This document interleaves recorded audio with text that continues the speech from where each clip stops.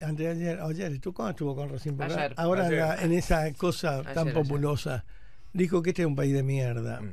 Y dijo que Macri era un estúpido. una Idiota. un idiota. Eh, que le dijo también, aparte, te, compre- Sí, te completo sí, el sí, por panorama. favor. Te completo. Macri idiota, eh, Carrió una gorda. Y que le gusta el vino a- No, y Patricia Bullrich una borracha. Una borracha, le gusta mucho el vino, dijo. Pero, no, to- toma ribotril. Sí, pero lo peor para mí fue, Lo- este es un país de mierda. Bueno, mire, señor, le voy a explicar. Si a usted una borracha, una que una loca, Una, una gorda, Gorda. un una idiota. gorda, una discriminadora. Acá usted se da cuenta, analicemos fríamente. Analicemos lo, lo discriminador que es el kirchnerismo. O sea, lo- ellos que hablaron de la discriminación, ella que se llena la boca en los discursos que la discriminan, que le dijeron montonera, puta, yegua, no sé qué cosa. Fíjese lo que es usted en la boca, tiene una, una cloaca en esa boca. Y es verdad que sí, a lo mejor no voy a hablar de la gordura de la señora Carrió, porque le- también la señora Carrió creo que se tenía que callar la boca y llamar a cuarteles de invierno porque está diciendo muchas boludeces. Ayer comparó lo de Santiago Maldonado, después de haber dicho la pelotudez del 20% que estaba en Chile, dijo que parecía que Walt Disney, no sé, se había mantenido frío. Una estupidez digna que no es de un, no es, no es- no es de un jefe político. La está pifiando porque... Eh, para, ¿me dejás terminar la editorial? Gracias. Disculpa. No. Eh, bueno, yo quería decir que si una, una gorda, un idiota y una borracha le ganaron las elecciones y le van a volver a ganar, yo me plantearía bien quién soy, ¿no? ¿O no, Jorge? Si esas tres personas que para usted son tres boludos, le ganaron las elecciones y la peinaron de derecha a izquierda, yo me preguntaría quién soy yo. Porque si yo voy a jugar a la pelota y un tipo que no tiene pierna me mete dos goles, digo, ¿y yo cómo juego? En otro orden de cosas, algo comparto con usted, Cristina. Usted dijo que este es un país de mierda. Y sí, y sí.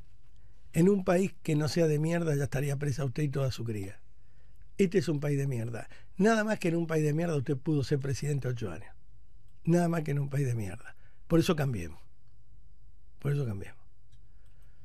Con respecto a Maldonado, yo creo que se terminaron los tiempos de las evasivas y hay que hablar frontalmente porque ya Maldonado nos terminó doliendo a todos. Ahí la veo a la socia Debe hablando de Maldonado. No es de ustedes, chicos, Maldonado.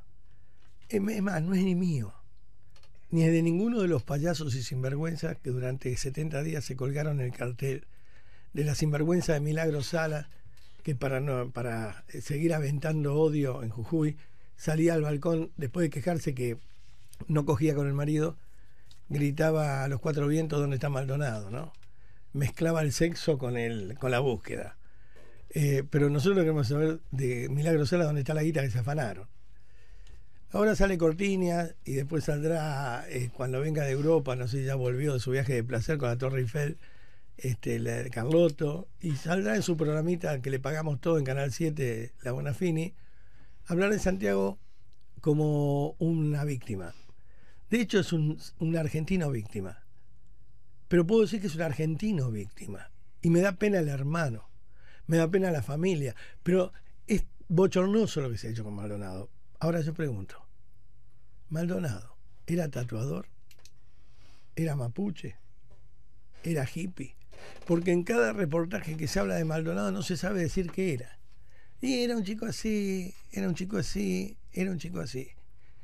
De ese chico así, cada uno de los delincuentes que hacen campaña le dio el rótulo que necesitaban. Algunos lo pusieron como montonero, otro como mapuche, otro como luchador de los derechos sociales, otro como tatuador, otro como hippie del bolsón, otro como plantador de marihuana, no importa. Apareció en los huesos de un pibe. Según me dijeron extraoficialmente, y no tampoco lo dijo nadie, porque no quieren un quilombo nacional, porque todos estos, estos avechuchos que se apoderaron de Maldonado, como se apoderaron de los desaparecidos y los muertos de la dictadura para llevarse sueños compartidos a la Universidad de las Madres y medio país, eh, no, se, no se habla todavía. Creo que el, el hermano ya lo reconoció y es él. Está confirmado. Lo que pasa es que la van a estirar un poco para ir po- preparando a la gente. El pibe Maldonado, pobrecito, yo no me colgué nunca el cartel. Es más, yo dije que los mapuches eran unos delincuentes de mierda, no los aborígenes. Los hijos de puta encapuchados que ayer, al del organismo de derechos humanos, le cagaron a trompar la camioneta, se la rompieron, lo cagaron a piedras, o sea, son violentos, son delincuentes, son usurpadores de territorio, o sea, que la muerte o supuesta muerte de Maldonado no va a opacar los hijos de puta que están encapuchados en el sur. Y no vamos a poder, no vamos a hacer que Berbisky los vuelva a trocar, a pasar, a cambiar en víctima. Esos siguen siendo tan hijos de puta como cuando Maldonado estaba vivo.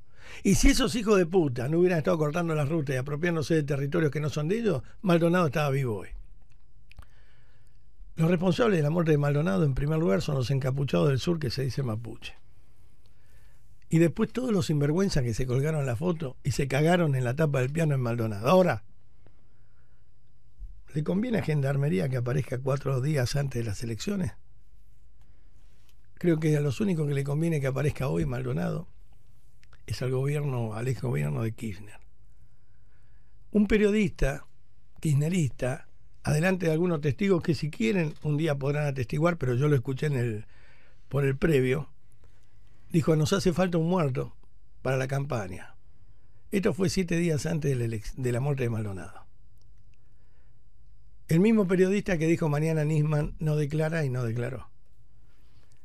Yo, como dijo Luther King, tuve un sueño. Y yo no tuve un sueño, pero tengo una sospecha. Y creo que una sospecha se la puede tener o es, o es este, em, este, punible de alguna sanción. Porque si no se puede sospechar, no vivimos en democracia. Yo creo que lo plantaron. Yo creo que era la última carta de la violencia que hemos pasado 12 años. Era la última carta de un juego macabro para ganar una elección.